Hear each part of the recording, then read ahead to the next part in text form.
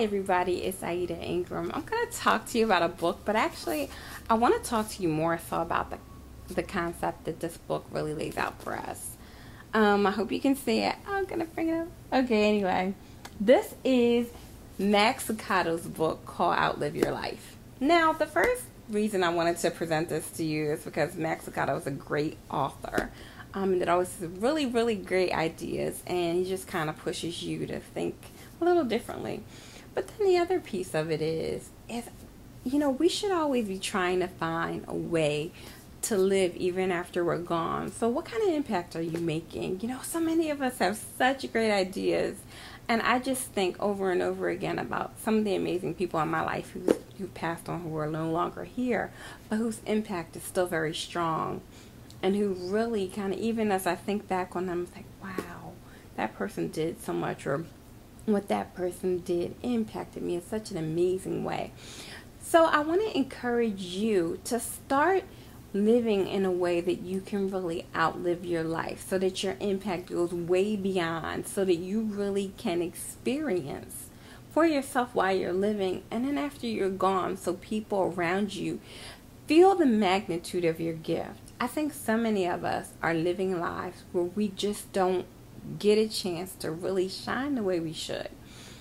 And that's a travesty, I think. I think it is. You may not agree, but that's what I believe. I think if we leave the earth without leaving an impact that we were meant to live, we are missing out on a great opportunity to impact lives and change people and to help people. So I may encourage you and I'm pushing you.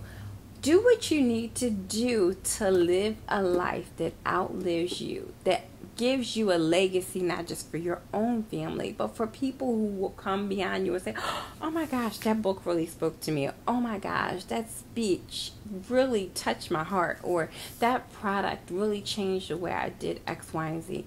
Each and every one of you has the ability to do just that if you live in a way where you outlive your life be the person that god has called you to be be serious about showing up just the way you are unique, wonderful.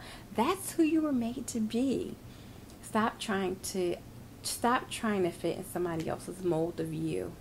You are perfectly and wonderfully made, and that's an amazing gift. So continue to figure out ways that you can actually outlive your life. I'm going to give you plenty of tips, and I'm going to push you and keep bringing this up until you get sick of hearing. You're like, oh my gosh, But the point is that you need to hear it because it's, it's the push that you need to keep going. Your life can be so much greater than than what you're living. I'm pretty sure because most of us kind of we stay in that comfortable zone, you know. And my goal as a coach and as someone who you've allowed, thank you to be in your life, is to be that one who pushes you forward. Come on, you can do it. You can do it because you really can. So this is Aida Ingram. I'm looking forward to serving you.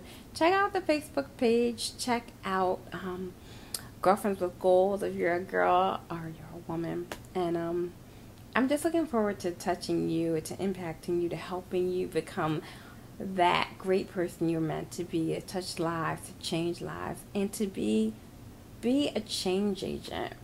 So I'm looking forward to talking to you. Have an amazing day. Take care. Aida Ingram.